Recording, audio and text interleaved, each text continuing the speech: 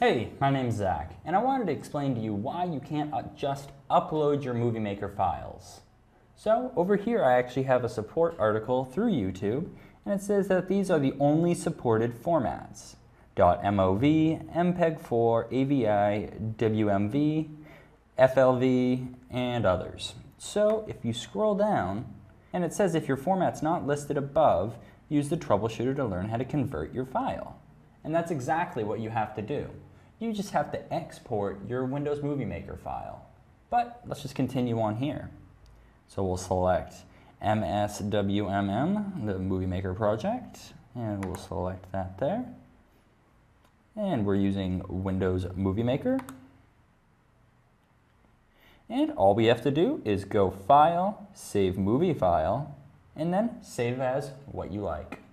My name's Zach, and I just explained to you why your Windows Movie Maker file is not uploading to YouTube. Thanks for watching.